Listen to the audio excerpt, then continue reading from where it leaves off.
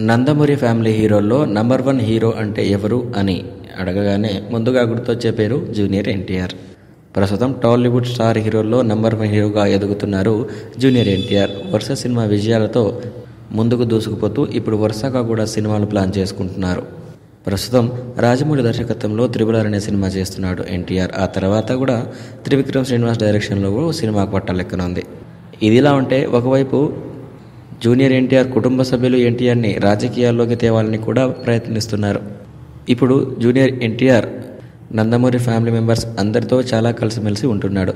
నిజానికి ఇంతకుముందు ఎన్టీఆర్ని నందమూరి కుటుంబంలో అసలు లెక్క చేసేవారు కాదని తెలుస్తోంది.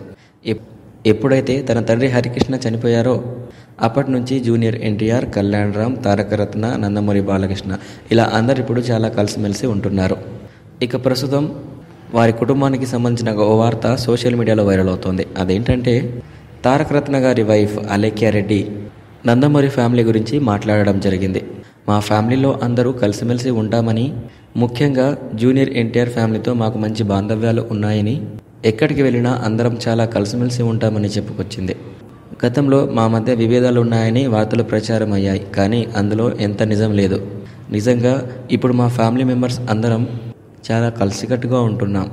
జూనియర్ ఎన్టీఆర్ ఫ్యామిలీ అన్న కళ్యాణ్ రామ్ ఫ్యామిలీ అన్న మాకు చాలా ఇష్టం అంటూ తారక రత్న గారి వైఫ్ అలేఖ్య రెడ్డి నందమూరి ఫ్యామిలీ గురించి చెప్పడం జరిగింది. ప్రస్తుతం ఆమె మాట్లాడిన మాటలు ఇండస్ట్రీ వర్గాల్లో హాట్ టాపిక్గా మారాయి.